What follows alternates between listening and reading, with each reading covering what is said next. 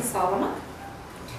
Sonra bunun e, tuzu ve Muğla'nın Marmaris ilçesinde yaşayanlar daha sağlıklı ekmek tüketmek için evde doğal ekşi mayalı ekmek yapımına rağbet ediyor. un ve su ekleyecek olsak daha fazla belki işte ne kadar 20 vardı buzdolabında.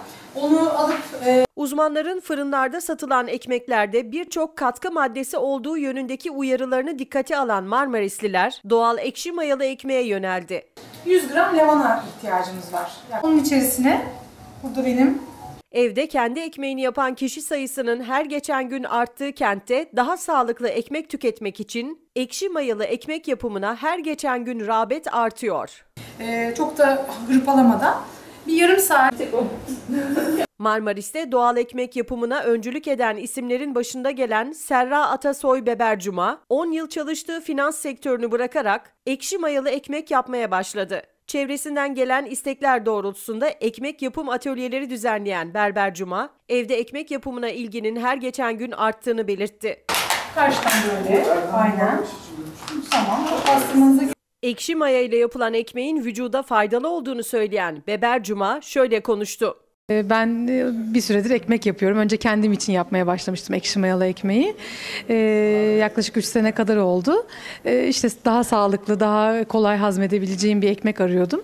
Sonra bu merakım etrafımdaki insanlar bize de yapar mısın dedikçe biraz daha gelişti. Atölyeler yapıyorum e, çevremde ulaşabildiğim insanlara. Tamamen doğal, un ve sudan oluşuyor ekşi maya. Aslında eskiden beri kullanılan e, ve ortamdaki bakterilerle kendi maya özelliği e, oluşuyor ve bu şekilde de daha sağlıklı işte gluten oranını düşüren e, yediğiniz ekmeğin daha sağlıklı hale gelmesini sağlayan bir ekmek oluyor.